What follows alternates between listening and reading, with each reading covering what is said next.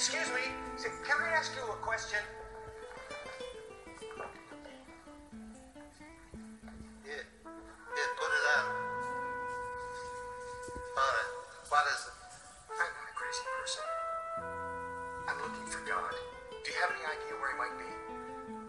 Yeah. You do. There he is. Well, there he is in a sense. The thing is, I'm looking for God, the person. I'm trying to get my wife back. You want God or a lawyer? Look, I know this sounds crazy, but the fact is, you are looking at a guy who made a deal with the devil that only God can get me out of. That was fun, honest, Kate. Hey, wait a minute! There really is a devil. He dresses up in fancy clothes and he runs around pretending he's an agent, a talent scout. I was singing at this wedding, and he said he could make me a big star, and he did. See? I'm the biggest rock singer in America. But I'm not me. I need to find God. You need rest, is what you need. Listen to me. You are a religious man, and I am a human being in terrible trouble. I need God's direct intervention. You can't find God by hailing him like a taxi cab. Well, then how do I find him? He finds you. That's the way it works. I don't have time. You're a young man. All you have is time. No.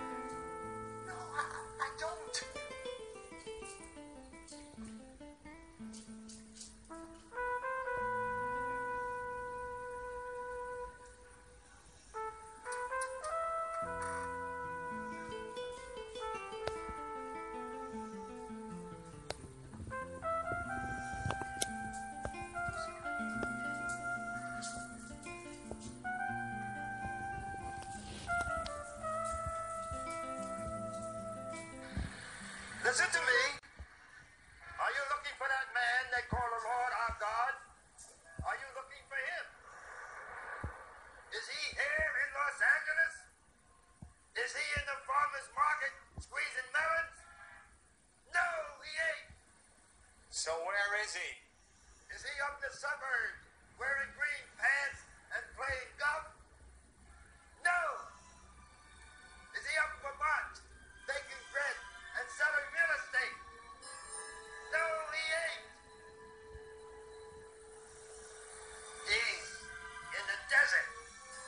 desert?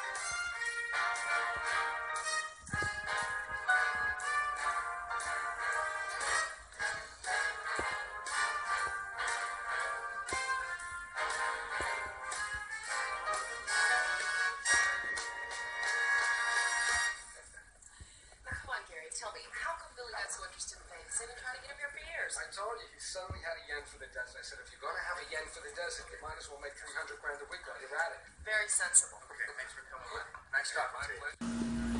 I must work the works of him that sent me.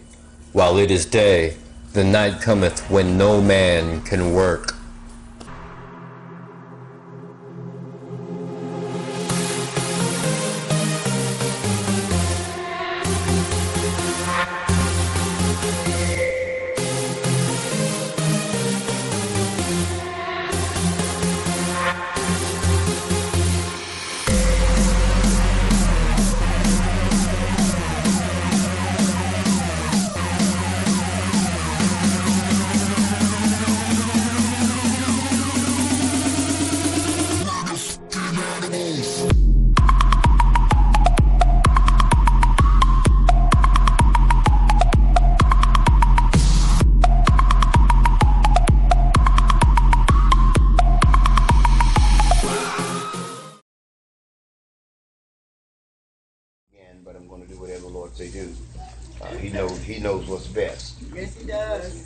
I'm going to follow his lead, that's for sure. Uh, we're thanking God for seasons such as what we are now dealing with. All right. I, I think we uh, are somewhat off. And when I say that, we're off the mark because I think a lot of us think that a lot of the things that are happening are, are orchestrated by, by Satan himself. Not all of them. Trust me. God is in the midst of some of the things that are going on because the people of God need to get back in line. Right. Uh, we need to get back to the old stumping ground, the, the praying ground. We, we need to get back where we once was, that we lifted him up no matter what the conditions were. Because we in a situation and in a time now that we need God. Amen. And I'm serious about that. We need God. And, and nothing else is going to work. Nothing else is going to do the job. Only God is capable of fixing uh, that which needs to be fixed in our lives right now and that is around us. So so so I I, I, I, I plead with you today to to understand that that God want your heart. God God want you.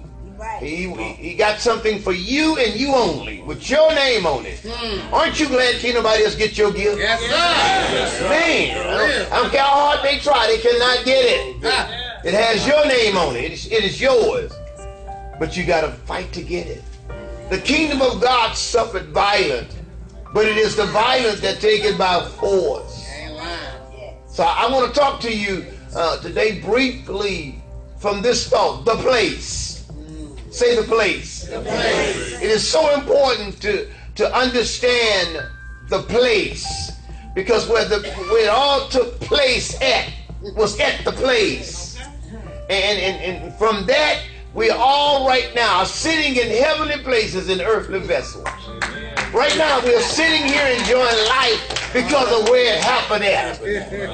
Uh, we were not there at the scene. We, we were nowhere around. But guess what? Because of the connection, it made us a part of what happened at the place. That's right. You know, and they mostly say, well, well were you at the place? No, I, I didn't see you. No, I wasn't there. But I had a representative there. Right. So as we look at this today, I want you to see that all of this was was was predicted and not only predicted but prophesied that, that it was going to go down. Even the time and now what we're, we're living in now. It was already spoken that these times will come. These are tough times. These are hard times. It's, it's getting more difficult now than it had ever been. There are things happening now that you would have never thought would happen. They're happening now. Because if you don't realize it now, you're going to realize it pretty soon. He is on his way back. Christ is soon to come. Now, I'm not going to stand here and tell you I know when he's coming because I don't. But I can tell you this much the signs are visible. You know, eh, if you ever did extensive travel, uh, especially in, in, in, in a vehicle, you know when you're getting close to where you're supposed to be. Right. You start seeing some recognizable signs, some signs that you can relate to. There are some things that God wants us to relate to, to let us know that don't you be caught off guard. Oh don't, don't you be one of them that get lost. Don't burn all your oil up now because you're going to need some for later. Because you, you, you, you don't know. You don't, you don't know what's going on around. You think you know. You don't know. Yeah. You know, the enemy is lurking. Right. The enemy is, is, is seeking and, and he's searching out for those that have fallen by the wayside. Look at today and say, not me. And you, you better mean that. Fight, fight with everything you got. I am not going to be the one he's looking for. And when he run up on me, he ain't going to want to run up on me no more. I know that's right. So you have to understand that this is this is time to fight. Do you have your warfare clothes on? Are you ready to go to battle? See, I'm not talking about the playground. I'm talking about the battleground. There's a difference on the playground. When you get tired of playing, you can go home. On the battleground, you can't get tired of fighting. You, you got to fight till, till you're won, and, and winning is in your in your view. I can see it. The songwriter wrote a song said, "Look like I can see the breaking of day." Come on, come on. So, so it, it, it looked like I can see the, the breaking of day coming down through time and, and, and looking at what had happened to me and looking back over my life. And, and it tells me that God is getting ready to do something. And, and when he get ready to do something, I'm going to advise all of us, we better stand back and let him have his way. Because he's going to do some bashing. Satan got something coming. And, and it's about time for him to get it. Would you agree with me? Yeah, it's about time for him to get his down. God has something for him. Will you please go with me to Luke chapter number 23? And the old world, the whole world is full with many, many places. These places does not necessarily represent very much to you and I. But the beauty of them is outstanding. I've gone to some places that, that were breathtaking. The, the, the beauty of them, one of the places was, was Paris. I've, I've never seen buildings that were built in the 15 and 1600s look newer than the buildings today. What did they do to make those buildings remain their, their, their look like that? It's amazing. Uh, some of the places you go, see, if you have never gone anywhere to see anything different from what you see, you can't appreciate the beauty of it. But when you can go and see some things that, that you've never seen before, and, and, and you're like, man, what's going on? Because whether you realize it or not, everywhere you go and, and, and everything you encounter, it should leave something on you, some kind of impression. It should leave with you that God had his hand in this. And, and I believe that the things that we go through in life, I know God got his hand in it. Because the writer said, if it had not been for the Lord on my side. Come on, come on, come on. See, this is how I know it, God got this thing. I don't care how it look. I don't care how you feel. God got this in control. If you would let him go ahead and handle his business and you get out of the way, he'll fix some things for you. Yes, he will. He'll straighten out some things for you. Your life will be totally different. You know, and the life that you live now, it, it's not, it can't even be compared to what God got for you. In fact, I tell you what the scripture said, eyes have not seen, ears have not heard, nor have it entered the hearts of man. The good things God have in store for those who love him and those who are called according to his purpose. You got purpose today. Your purpose is, is visible today. And, and the devil know it. That's why he's striking at you so much.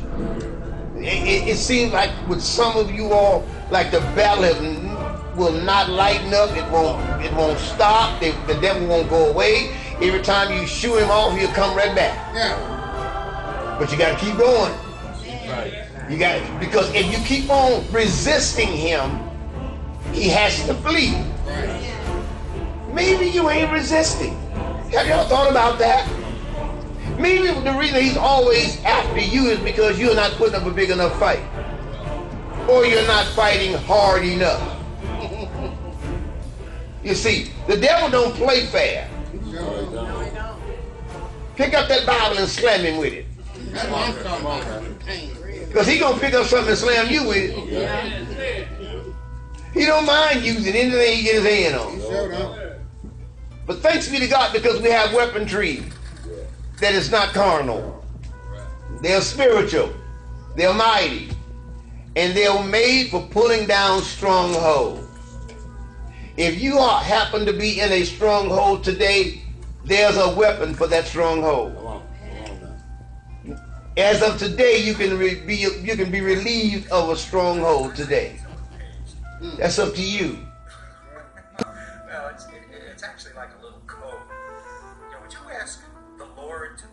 House phone and call room 8216,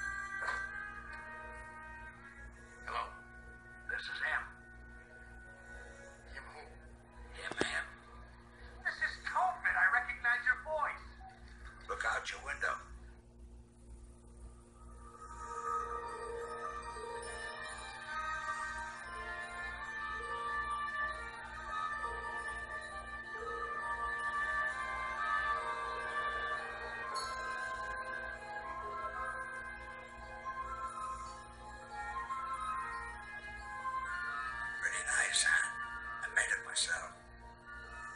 No, preacher. You were speaking through him. That's right. Why are we here? In Las Vegas? I have my reasons. Don't question them. You're in enough trouble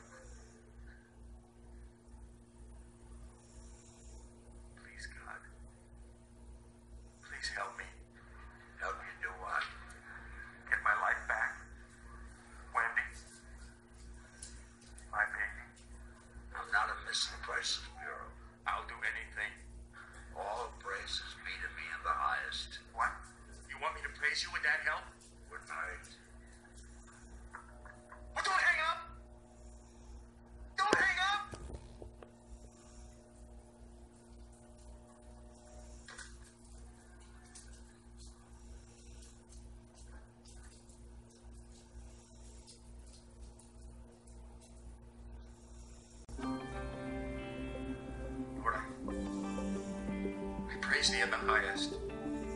The top. The best praise.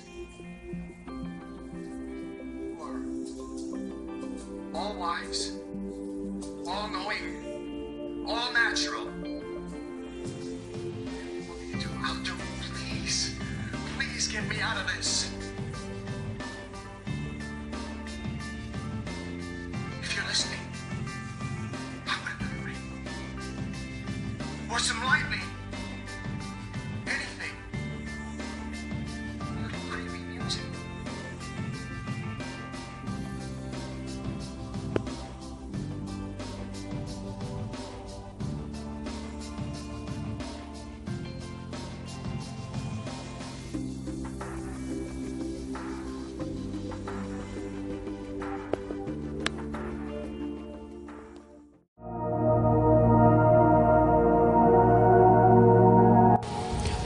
Brothers and sisters in Christ, hear the words that I'm about to tell you and take heed.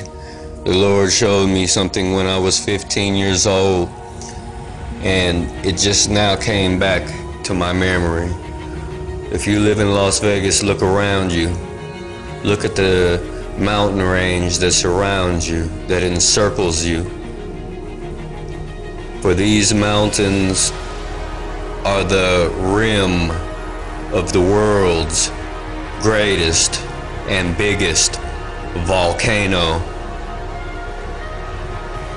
My brethren, listen to me. Get out of her. Get out of Las Vegas. The Lord is going to do a mighty work in this city.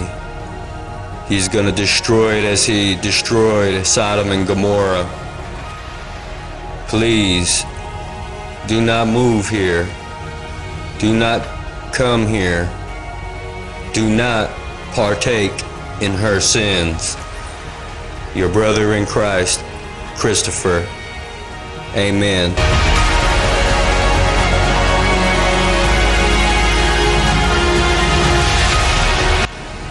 Thank you for watching The Heads and Not the Tails, and a special thanks to Soaring Badger Productions. In Jesus' name, repent and be saved. Hallelujah. Amen.